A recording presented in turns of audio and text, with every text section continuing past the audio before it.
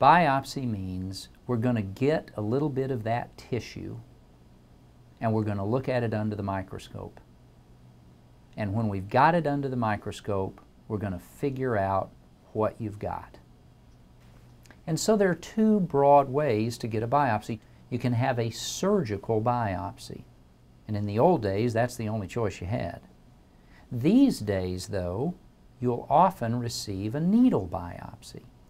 And a needle biopsy means just that. We're going to get a little bit of that tissue by putting a needle into the tissue and taking out just enough to go in the needle and give that to the folks with the microscopes.